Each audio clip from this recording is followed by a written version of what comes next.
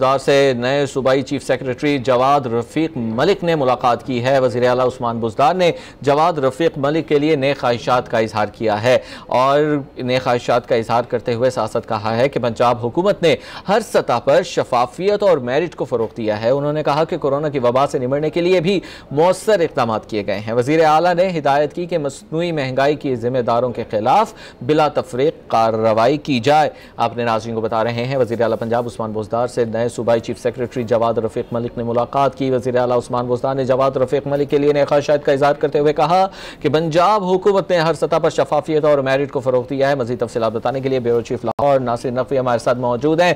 ناصر نقوی صاحب، تفصیلات سے آگاہ کیجیے گا۔ ملاقات کا احوال کیا رہا؟ آج وزیر اعلیٰ، پنجاب عثمان بزدار سے نئے چیف سیکرٹری جواد رفیق کی پہلی ملاقات تھی۔ اس لیے وزیر اعلیٰ پنجاب نے اسے نئے خواہشات کا اظہار کیا۔ پنجاب حکومت نے ہر سطح پر شفافیت اور میرٹ کو فروغ دیا ہے۔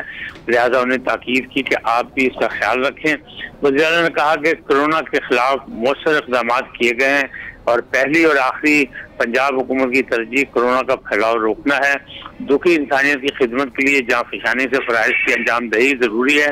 انہوں نے کہا کہ مصنوعی مہنگائی کے ذمہ داروں کے خلاف کارروائی کے اقدامات دیے جا چکے ہیں۔